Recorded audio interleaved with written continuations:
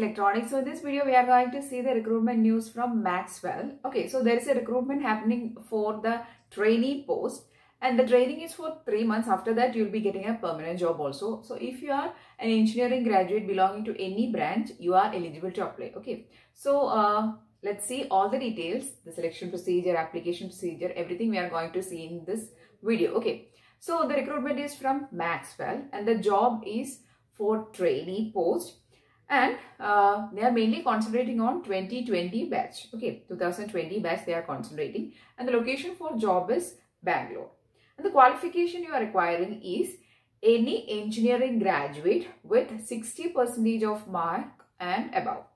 Okay so that is a basic qualification they are saying. And also plus you should be having some knowledge in the syntax of the languages like. net java c c++ or python. And also some basic concepts on object-oriented programming language, algorithm design, data structures, problem solving, complexity analysis, all those things. Okay, so some basic knowledge on this area and and you should be also having good communication skill and you should be a quick learner. So these are the basic uh, necessary qualifications they are saying. So that is some programming language knowledge, some object-oriented related uh, skills or some knowledge and good communication skill. And the basic qualification is any engineering degree with a 60 percentage of mark. Okay, so there is a training of three months and after the training, if you successfully complete the training, you will be posted as a permanent job. Okay. The selection process also they have given as a very detailed manner. So the selection is actually happening through an initial online test. Okay. So the test is from 17th of November to 19th of November 2 p.m. Till 2 p.m. you can give the test. Okay. At 19th of, that is on 19th of November till 2 p.m. you can give the test. That is the first stage of selection process. Okay. So the selection process starts like this. There is a first stage.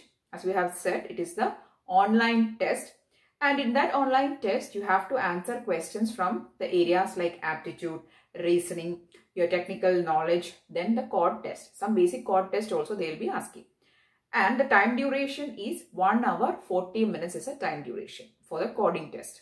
Okay, so I'm telling it once again. So if you are interested in this job, you have to give the online test.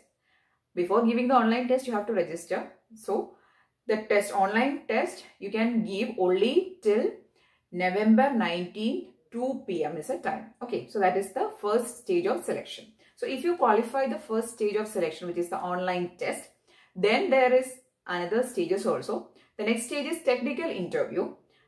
That is, you will be uh, asked some technical questions. Okay, online interview will be there only. You don't have to travel or anything. There will be online interviews. All the stages are online only. Okay. So the second stage is online interview. The third stage is a project manager interview. That is, the project manager will be interviewing you. Then, the fourth stage is HR interview or HR discussion. These three stages will be also online only. Okay.